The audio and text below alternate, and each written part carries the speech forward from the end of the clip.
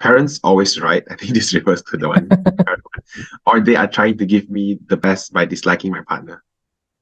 Um, parents are not always right. Nobody is always right.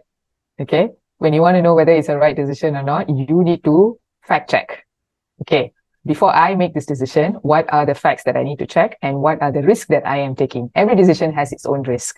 So you need to check your risk. This is where your critical thinking comes into picture. And you can only do critical thinking if you sort out your emotions first. When you are very emotionally charged, you are not able to think clearly. So if you need to make a, a decision like this, take some time off, you know, go talk to a friend or see a therapist, or you just go alone, you know, sit down somewhere near the forest or go to the beach or somewhere quiet and think for yourself. Put all the emotions, let all the emotions go out of you, do some mindfulness, right? And then check your facts. Why are your parents disliking your partner? Is there something really wrong with your partner that you can see because you should know your partner better than your parents. Right? If you don't see any issue with your partner, then of course your parents are not right.